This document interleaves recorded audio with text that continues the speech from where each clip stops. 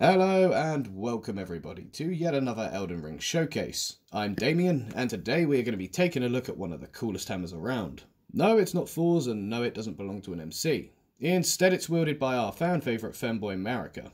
As for where you can get this weapon, you will need to have completed your first playthrough as Marika is the final boss of the game.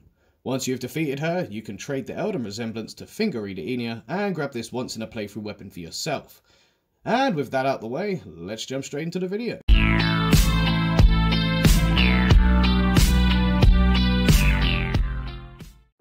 If we take a look at the stats, we can see that this horrendous hammer deals a solid 101 physical and 65 holy damage. It also has a D scaling in strength, dexterity and faith, with a nice and light weight of 6.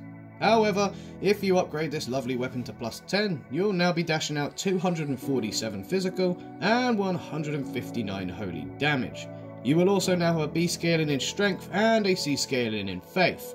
Marika's hammer cannot be infused, but with the weapon art this beast has got, you will not be needing any.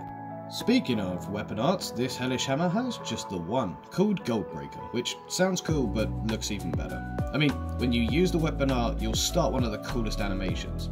You'll leap into the air and bring the hammer down like Thor, which in turn will launch all surrounding enemies within range into the air. This can be exploited by simply spamming the button. Now, admittedly this does stink of cheese, but I'm not going to complain seeing as they put it in the game. Oh, and I just have to say how incredible this weapon's ability is. Not just because it looks awesome, which it does, but because it disperses crowds like an eggy fart and launches enemies into the atmosphere as if the rapture had just started early.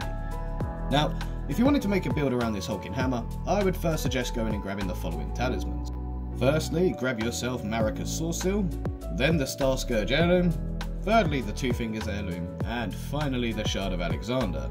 These, in the order that they were read, will greatly raise mind, intelligence, faith and arcane, will increase strength, increase faith, and will greatly boost the attack power of skills.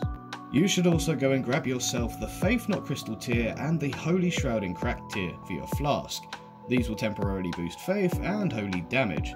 You could also equip an armor set that boosts faith damage as well, such as the Gold Mask's armor set or the Ruler's Mask.